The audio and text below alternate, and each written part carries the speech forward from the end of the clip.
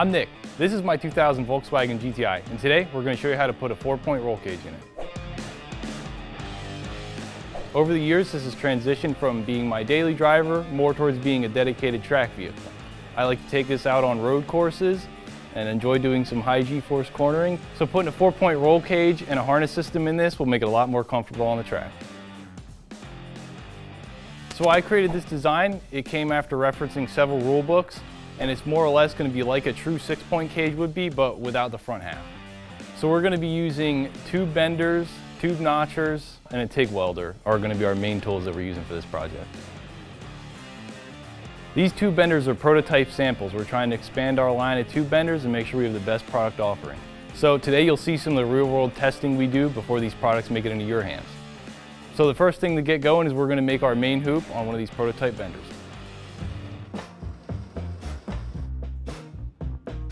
So this is a SolidWorks model of the main hoop and a print of that model that I made based off measurements I made in the car before we made a hoop.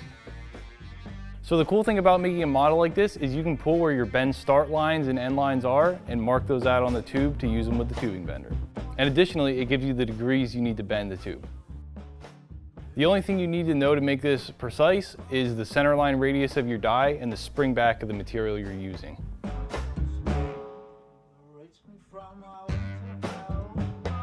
So we're going to use an angle gauge with a piece of steel and some vice grip pliers to keep this bend in plane. That means it won't rotate so we won't have a distorted roll cage.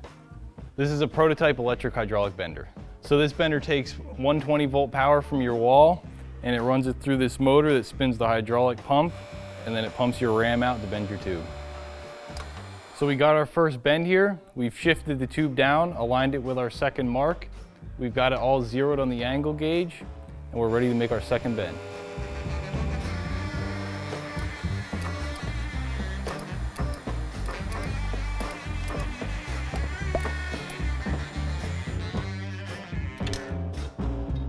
and then we'll continue and we'll finish bending on the other side.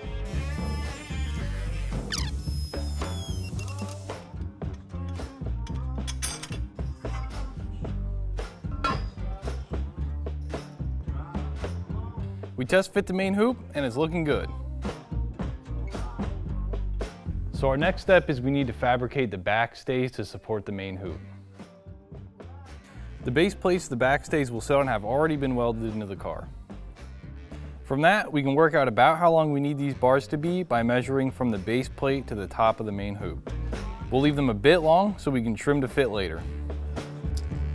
We also need to figure out the angle they will sit at left to right, as the bottom of them sits wider than the top. For us, it's 10 degrees. Using our length and angle measurements, we can move over the tubing notcher and cut one end of each bar. So we got this tubing notcher set up just a little bit offset from the center line of the pipe so we have a good made up with our main hoop. If we do it exactly at the center line, you'd end up with a thin section here that you would end up grinding off anyway before you welded it on. So doing it this way gives us a better welding joint.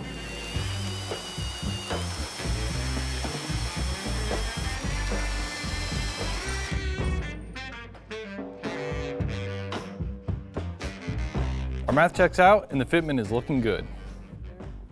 Now we move back into the car and figure out how long and what angle we need to cut the other end of our backstays to sit flush on the base plates. Cutting angles can be difficult sometimes because you hit limitations of the tool you're using.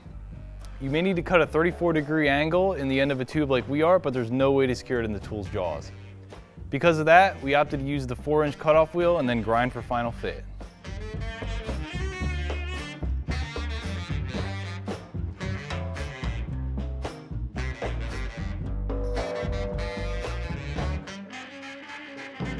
Once everything is looking correct, we add some tack welds to connect the backstays to the top of the main hoop.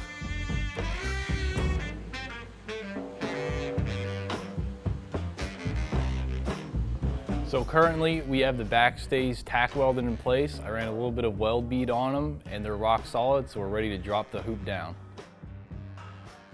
Dropping the hoop down is nice because it'll allow us to get right around the top with our TIG torch without having to worry about hitting the roof of the car.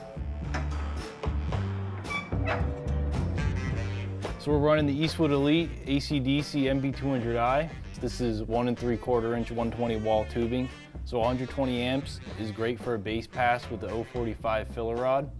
And then I'm doing a second pass on this, cranking it up to about 130 to 135 amps using 1 16th inch filler rod. Once we've dropped it down and we've got the backstays fully welded, we'll bring it back up and then we'll be able to tack it down to the base plates.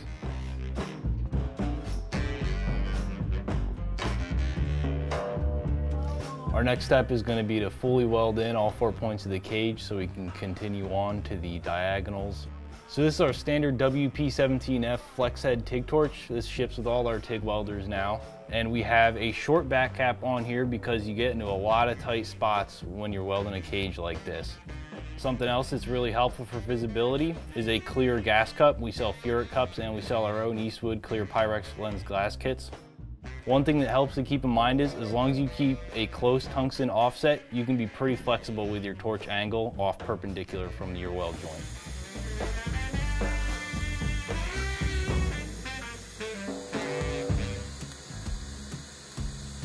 The main four point cage is welded in.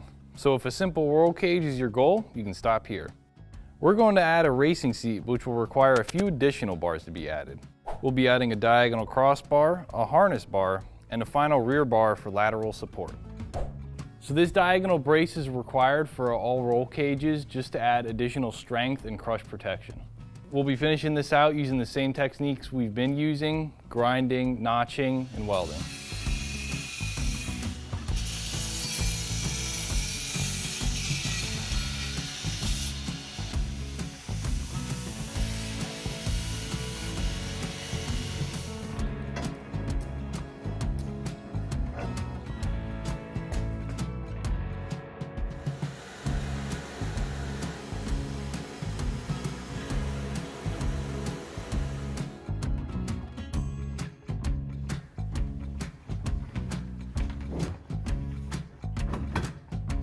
The last piece of this puzzle is figuring out the harness bar to mount the seat belt harnesses to.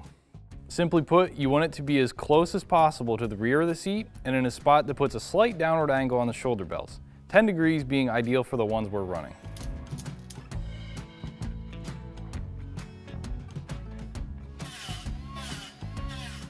Once we have everything mocked up correctly, we can go ahead and finish the welding with the same settings we've been using.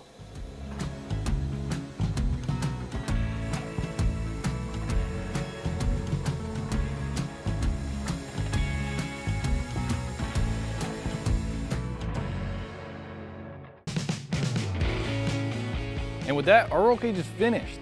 We popped the interior back in with some slight adjustments and then got it out for a track day. I'm super happy with how this turned out. The MP200i performed great and I got a bunch more experience using the machine. If you want to tackle projects like this, you can learn everything you need to know about our welders as well as our other tools over at eastwood.com.